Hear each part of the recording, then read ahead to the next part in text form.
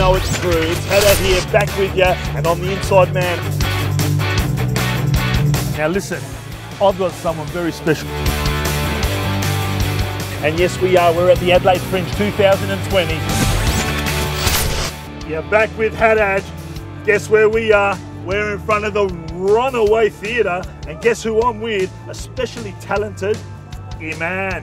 How are you, man? Good, how are you? How are you, bro? What's going on, cuz? When you got people like this with the best hearts and all they're here to do is make people happy. Yeah. That's our job, isn't exactly it? right. Iman, that's your job to make every individual laugh, be happy, Exactly. go home and say, wow, I enjoyed the night. Yeah, exactly. Oh, also, but if they're assholes, I want them to know that I think they are.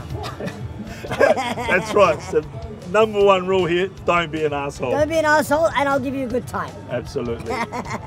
let me tell you, let me tell you guys, Iman is heritage in this place. He's like the furniture. He's been coming here how many years, man? 11 years. 11 years. And in big man world, that's 30 years. In small man world, that's 11 years. Let me tell you. Funny that's actually my 30th birthday. Happy birthday, happy Thanks. Habib. Thank you, thank Yeah. you. Yeah. Give us a bit of insight on the uh, 2020 Adelaide Fringe, yeah, man. Well, it's um, it's gotten much bigger. Uh, there's a beautiful view of the lake here in Gluttony, and this year I actually was lucky enough uh, to build my own venue. Uh, I built this with my own two hands. I love it. I love I said, it. I said, put that there, move that there. You know, Yeah. with my hands. He directed, Lebanese style. Yeah, and everything is made from 100% recycled material. Well, so this is the place, the Runaway Theatre. Um, it seats around 19 people. These are boxes that I had made custom. They can lift up so you can store stuff in there. This one's for alcohol. This one's for marijuana. Um, no, it's um, it's an amazing uh, thing I've done. Um, so you can move it, and this will all be pushed into the corner to be a bed as well if I want to have a nap. Uh, the stage is behind you. These windows give it a nice homely feel. Uh, it took me a year and a half to build it, um, and I'm so happy that I've got it finally in my possession. I'm a homeowner, and it cost me less than a homeowner's grant. That's the future. So we just do a whole bunch of short material, uh, short shows.